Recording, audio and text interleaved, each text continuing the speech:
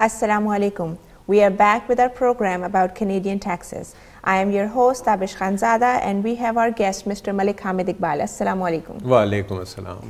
We will be continuing our discussion about RRSP today. Uh, but before we do that, let me introduce Mr. Malik to you. He is very highly qualified in his field and very highly experienced as well. He's associated with M&N Chartered Accountants, Inc. So let's learn a little bit about his firm before we go ahead with RRSP. M&N Associates Chartered Accountants is a full service accounting firm and uh, we have designated accountants in our team and IT professionals. When we were conducting, uh, I'll go back uh, to this program now, mm -hmm. that uh, when we started this program, mm -hmm. the idea was that what should we provide to our community?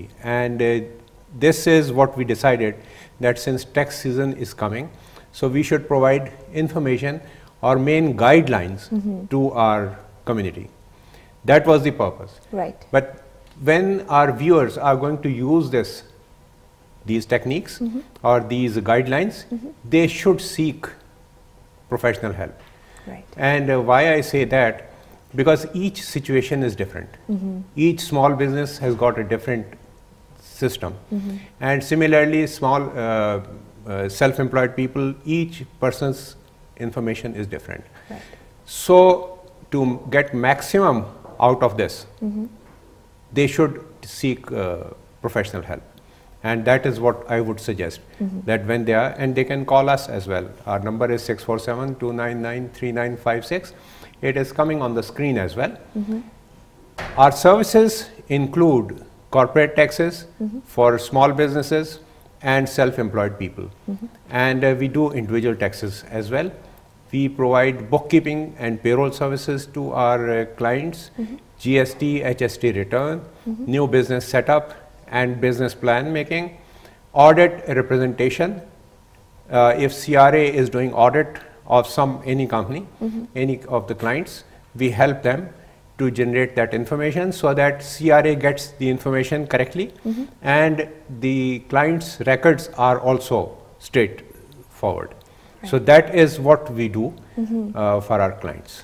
M&N Chartered Accountant Inc. is a full-service accounting firm, as we learned. You can contact Mr. Malik at 647-299-3956, or you can email him at taxes.can at gmail.com. Our program today, we will continue discussing RRSP, uh, where we left off last time, and then after that, we will be discussing some miscellaneous family tax situations. So let's go ahead with our program. Sure.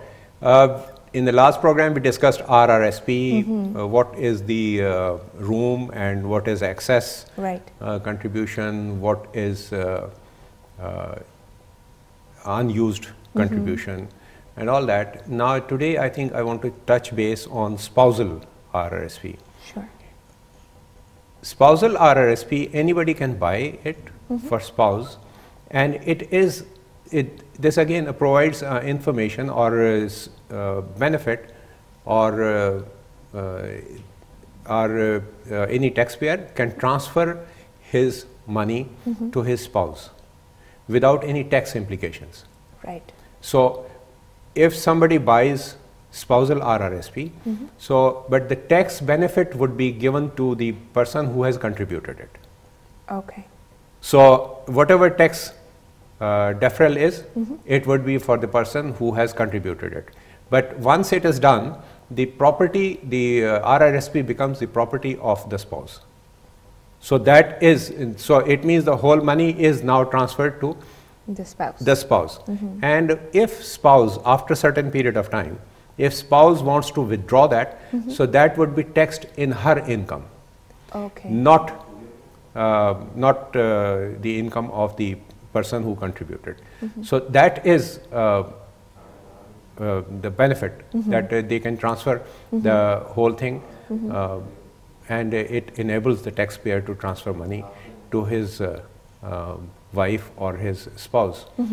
But at the same time, when somebody is putting money in RRSP for his spouse, this does not actually make his room bigger. Okay. It, his room would be still same. For example, if somebody has a $10,000 room mm -hmm. in his RRSP, he can buy that. and he buys 5,000 or $4,000 for his spouse. So that $4,000 would be in spouse name, but it does not mean that he can now increase his from 10,000, he can buy 4,000 more for on his name. Right. The limit would still be same, but this 4,000 would not increase his Limit. limit. So that is uh, something which is to be considered. We have a question. Um, Arvinder wants to know that her husband has contributed uh, towards spousal RRSP, and she's wondering if the income would be attributed to herself or her husband. It is, uh, uh, she's uh, asking about attribution rules. Right. So, uh, this we discussed it in uh, our uh, uh, investment income uh, program that uh, if somebody buys any stock investment and uh, then income when the, uh, for example, somebody buys stock in his wife's name and uh, the dividend is declared. This dividend would be charged or would be added to the person who has pa- paid for this. It will not be his spouse. Right. But in RRSP, it is different. In RRSP, the income, whatever is generated, it would be spousal income. And it would grow there. So it would remain in spousal's name, it would grow there, and whenever after a certain period of time or at retirement, whatever, let's say uh, these in spousal RRSP, $5,000 were spent, and uh, at the time of retirement or after 20 years, that 5,000 has become 40,000. Right. That will not be traced back to his her husband.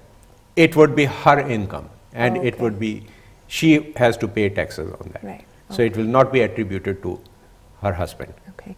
Uh, before we take a break, if we can learn a little bit about other places where we can use RRS, uh, RRSPs. Uh, oh, okay. Uh, we can use RRSP. Um, uh, government allows that people who are first-time home buyers, they can use this RRSP. They have to fill a form mm-hmm. T1036 mm-hmm. that has to be filled and sent to our, uh, uh CRA. Mm-hmm. CRA approves it, and then they can send this form to the bank where they have or insurance company where they have invested in RRSP. So they would give the money without any deductions Oh, excellent. without any deductions, so they would give it back. And uh, this loan has to be, or this withdrawal has to be paid back in 15 years' time. Okay. So that has to be done. But it, this is again a very good benefit that uh, they want to buy a house, they can use that RRSP, which was not taxed. Exactly. They can use that RRSP for buying the house or down payment of the house, and then they can. There is a limit on uh, that how much they can withdraw, but with that limit they can withdraw, and uh, then uh, they can they have to repay it within 10, te- 15 years. There is another uh, benefit. RRSP can be used for lifelong learning. Okay. So if somebody wants to do some courses or some special courses which he wanted to increase his knowledge or uh, learn something, he can take the money from RRSP. Again, he has to fill the information and uh, ask the uh, CRA. They would allow, but in home it is mm, almost like uh, home buyer plan. But uh, home buyer plan is to be re- the money has to be returned back in 15 years, and here it would be returned back in 10 years. So this is the difference. Otherwise, it is tax free, and but it has to be returned back. Excellent. That is. So we'll take a short break. We will take a question after we come back, and we will be discussing TFSAs as we return right before we go into our next topic. So stay with us.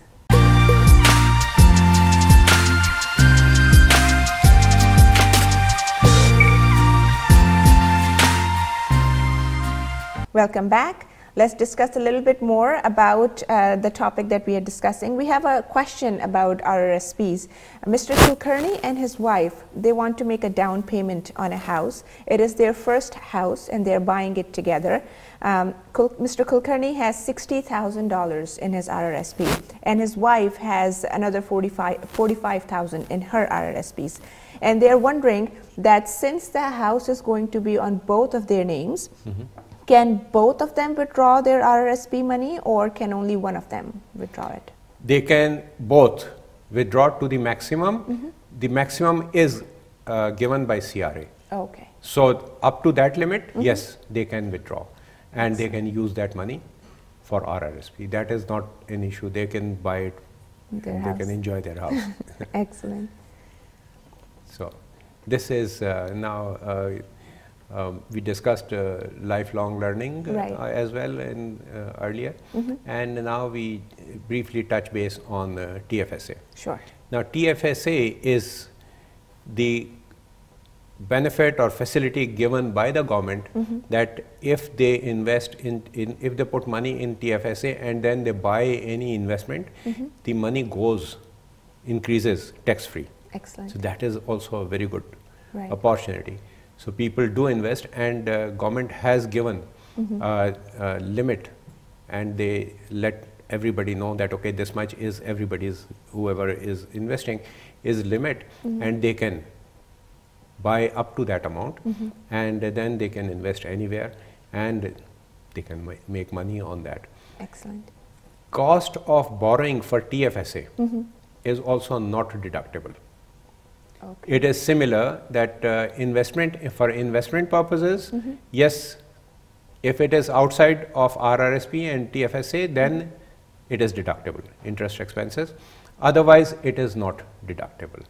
So, if somebody buys, if he has a room for TFSA, $50,000, and he goes to the bank and buys uh, for, uh, takes loan, the interest expense ha- is not deductible. Okay. So that is uh, uh, one thing which uh, we have to be careful Right. that these expenses. But yes, TFSA, whatever is earned, it is tax free.